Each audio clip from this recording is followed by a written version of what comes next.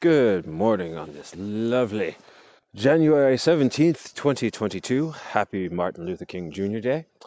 I have started my day uh, listening to several of his speeches. I was immediately struck by a speech entitled a, uh, a radical, what was it called? A radical revolution, radical revolution values. Highly recommend checking that out. Um, speaking of which, voter laws. Uh, I was just listening to NPR talking about how there's uh, several uh, Martin Luther King parades going on, and they're they've got the people with the megaphones out front in uh, favor of the Democratic National Convention's uh, bid for a change to voter laws. Uh, they want the federal government to take over state states' rights to vote to making the voter laws. Uh, so they can do all kinds of things, redistricting and allowing of mail-in ballots and absentee ballots and voter harvesting and yada yada yada yada.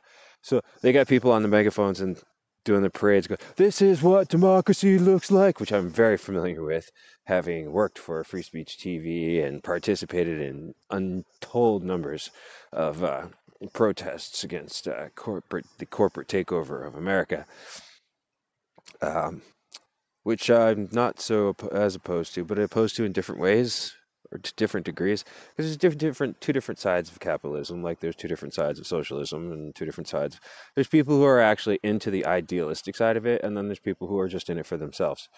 Uh, which I mean, I, it, it's a weird thing too. The people being in it for themselves and people being in it for everyone is essentially two different ways of achieving the same goal but it's it just seems to me at least so infinitely easier if we all just looked out for each other um, and then you wouldn't have to worry about looking out for yourself. But there's I, I don't know there's a lot of things that come into play and it, it really hampers the whole thing up that we're all brainwashed to be slaves from the from the get-go so that doesn't help anything. Anyway regardless let me break down this whole voter law fight for you it's real simple, okay? Because it has absolutely nothing to do with the actual um, protection of American, the American citizen's right to vote. Okay, it doesn't matter if you're a Republican, it doesn't matter if you're a Democrat. Both sides are jockeying for power. Period. Okay, everything being preached by the DNC, the Democratic National Convention, right now has to do with them maintaining power in the Senate and in on Capitol Hill, blah blah blah blah blah. Everything the Republican National Convention do, is doing also just has to do with them gaining control of the Senate and Capitol Hill, yada yada yada. All right, that's all it is. Both sides are jockeying for power. Neither side gives a crap about actual democracy. Okay? If either of them did, they'd scrap the entire election system and they'd put the whole thing online so absolutely everybody has equal chance at voting. In fact, honestly, I'm in favor of it being mandatory.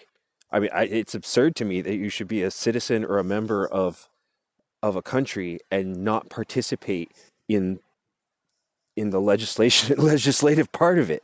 I mean, that's that's if you want your government to be a self-rule government where you know you're still in control of yourself then you have to participate. And if you don't then you're just opening the door like i've said many times before to douchebags which is what we have now.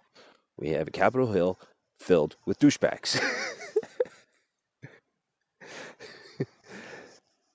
They you know it's their choice. It's their right. I'm not judging them for being douchebags it's kind of a judgment to call them douchebags gives a crap what I say. Anyway, but yeah, the, the whole thing should be put online so everyone has access to it. It should be immediately incorporated with blockchain technology so that, you know, there's no chance of any kind of cheating and everybody can actually see the record and actually like, you know, see for themselves the numbers and it, it, it would just remove there's so many ways using current technology that we could remove all chance of cheating from voting. Nobody in Capitol Hill is interested in that. Okay, because they all cheat. Duh. That's the only reason they're all still there. Okay? Because if there was any kind of fair, real election in this country, none of the people in office right now would be in office. All right?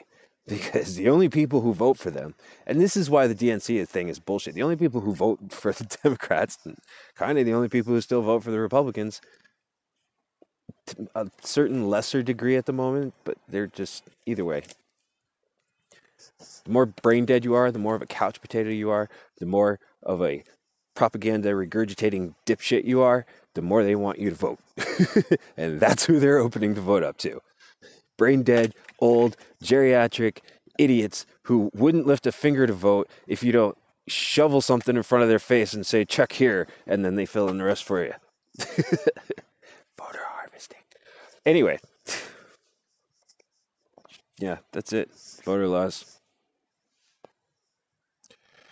The media will never enter into it from that that point of view. They won't. That's why any news any news agency that isn't looking at it from the as from the point of view I just presented isn't a real news agency. Okay, it's a propaganda machine for one party or the other. Let's see. Turns out the National Guard being deployed down on the border to help with the border control. I guess it's a mess down there. Because the DNC's plan didn't work out. oh. You're going to have a border, you might as well have a wall. I say we don't need borders, but you know, I'm just saying if you're to have one, then you need to have a you need to actually have one otherwise what's the point i mean if we're going to be a fascist nazi nation let's just get to it all right? Let's just do it. Because that's a, these are our choices right now okay? If you go with the dnc we're going to turn into communist china. And if you go with the rnc we're going to turn into nazi germany. So pick your poison. Which one do you want that's what that's what you get with the RNC and the DNC. The only way out of that is to just scrap all of them and do something else. Anything short of that, those are your choices. We're either going to be a part of communist China or we're going to become our own Nazi Germany. Which one do you want? Me eating my popcorn. I mean, if everybody woke up and was actively engaged in a thoughtful and sincere and rational manner, then I would back on stage, back on, you know, being pro freedom and self determination and yada, yada, yada. But people apparently like to be ruled by idiots. I don't know any other way to see it. Because there's no reason that it can exist without the majority of humanity submitting to it and not by he's like oh they're force and they'll shoot you and blah blah blah. They can only shoot so many okay? And after a while the people doing the shooting are going to start to feel bad because they're killing their own fucking friends and family. It just it can't it will always break down anytime the people actually just say we've had enough. And we've seen it so many times. They call them revolutions. But we're stupid and we do these bloody revolutions and you fight and when you fight people are reacting and thinking and working with animal instinct instead of rational instinct, it just makes more room for more disaster later on. That's all you end up doing. You can't fight it out. You gotta think it out. Anyone who's for fighting is a dumbass. Or a really smart guy who's figured out what's really going on and is making a buck. And more power to those people. I used to hate on them, but frankly, BlackRock, you're brilliant. I can't get mad at you anymore. I can't get. It's like this this ad on this um post I was reading on article on article. This post I was reading on Reddit, and uh, this one guy was making a comment on how Trudeau must be a moron doing this or that with the pandemic, and my response to him was, "No, Trudeau's not a moron. Trudeau's brilliant. Trudeau knows exactly what he's doing." The people who keep electing him into office election after election and the people who sit idly by and do nothing about it, those are the morons. Okay? The people who submit to it and the people who sit idly by and let it happen, you're the idiots. You're the problem. It's not the leadership, it's not the elite. Okay? They're just making lemonade out of lemons. They look at the world, it's like, oh my God, look at these fucking morons. They're just like praying to be used and abused. And it, it, that's apparently just how the universe works. If, like, if you everything about your actions and persona scream use and abuse me, the universe will send people to use and abuse you. And, and, and I can't get mad about it anymore. There's just, I can't. There's no logical reason for me to be upset with elites, self proclaimed or otherwise, controlling things. I can't be upset about it because, generally speaking, we are all allowing it to be done.